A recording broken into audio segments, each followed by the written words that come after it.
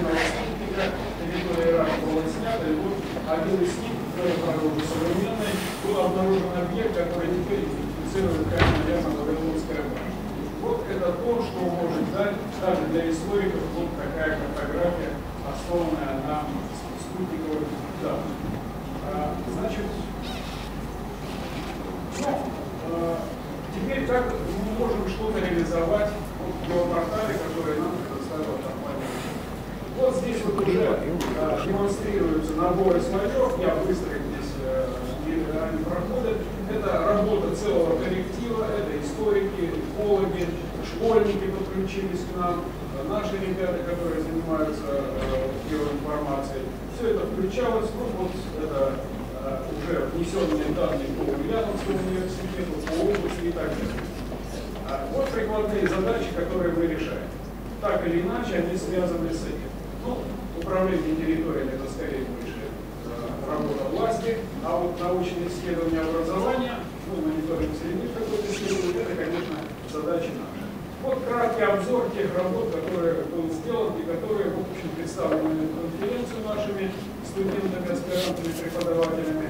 А я просто так сказать, прокручу, чтобы вы а, просто ознакомились. Они все будут презентации стоять на сайте, ну, по крайней мере, на нашем, поэтому с ними можно будет ознакомиться. Вот это работа истории. Вот это э, работа э, экономиста, который нам демонстрирует возможности геопортала как Есть разработки, касающиеся вот, различных, различного программного обеспечения, но это пока начатки. Мы сейчас пытаемся работать совместно с, с компанией Рекорд и надеюсь, что у нас это все будет успешно. Вот по стандартизации, которые, наверное, тоже очень важны. Сейчас вопросы задавались, наверное, это важно. А, вот подключились к нам школьники.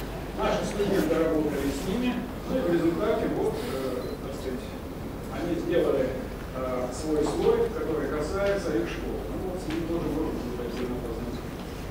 Ну и теперь несколько моих просто представлений о том, куда, наверное, следует двигаться, потому что, э, конечно, уже инструмент создан, но э, для того, чтобы он жил и чтобы можно было э, работать удобно и получать какую-то более глубокую информацию, конечно, нужно дорабатывать, создавать новые инструменты.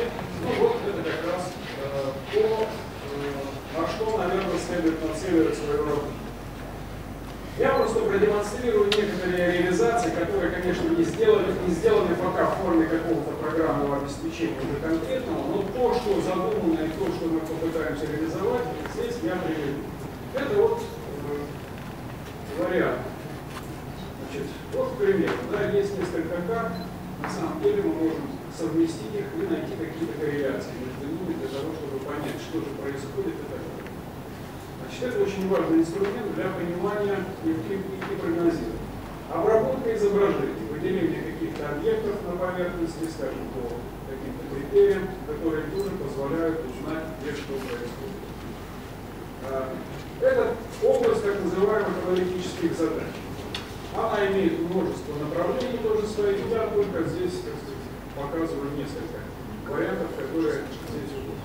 А вот это уже так называемая иде идеология динамических слоев, когда результаты обработки данных представляются в какой-то особой форме, уже 3D там, или 2D, но динамической, так что э, человек может уже более э, детально оценивать, что же происходит. Вот это опять как раз разговор о том новом ощущении, которое может дать новые инструменты по отношению пространственным каким-то распределением и э, динамической.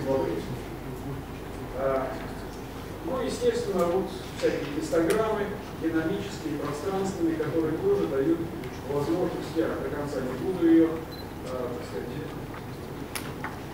возможности. Есть различные другие возможности, которые можно реализовать в динамических слоев, которые, наверное, могут помочь ну, понять какую-то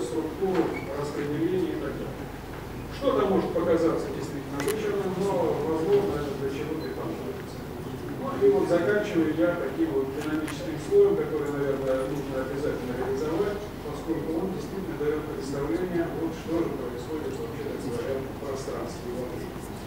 Ну вот, примерно это так было задумано. Мой взгляд,